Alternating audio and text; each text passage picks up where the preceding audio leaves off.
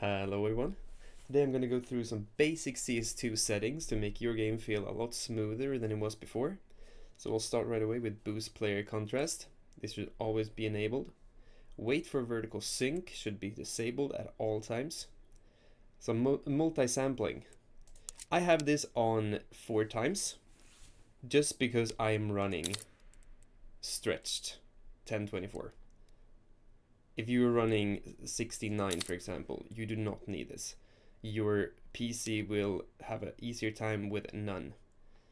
Okay. Shadow quality, high. There's a lot of shadows here. There's shadows around everything. There's shadows around nades.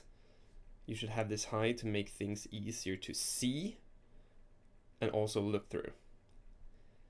Model texture, I have this on medium again because of my resolution you can have this on low. It does not really matter, it's a preference thing. If your PC is running, you know, if it has a tough time running in CS2, put this on low. If you prefer high, put it on high.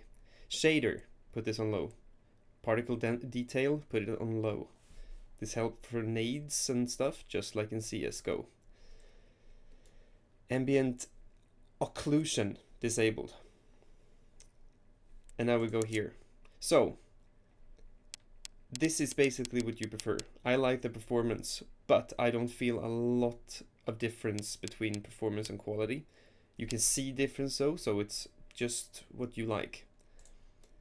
Fidelity FX, put this on disabled. This is a big one. The, these doesn't work yet. At least I don't think they work like they are intended. So you should put this on disabled. Now for the last one. This is a good thing. NVIDIA Reflex low latency is a good thing to have on. But right now it does not work as it should. So before they fix this, put this on disabled. And then we're going to go out to NVIDIA control panel right here. You press on manage 3D settings and you will find low latency mode. You put this on. Alright. Do not put it off. Don't put it on ultra, put it on.